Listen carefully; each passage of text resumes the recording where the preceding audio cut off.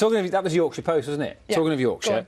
All creatures great and small. You watch it Oh, on Channel I 5. love it. Our family absolutely love, Love it. All creatures great and small is encouraging Americans to flock to Yorkshire because it's an altogether different beast to their own TV shows. Uh, 10 million watched the first series. Second series is going out as well. And the, the Rolling Stone reviewer said there was nothing I wanted to watch more than the gentle, slow. Uh, with its low stakes plotting, lush scenery, adorable animals, and ensemble of nice people. They say it's an incredible balm and a welcome contrast to what they call the dumpster fire of our own reality. Uh, Yorkshire Tour, real Yorkshire Tours, say 90% of their clients are American.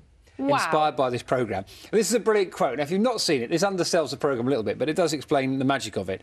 And one guy said, somebody said to me, we love it because nothing ever happens.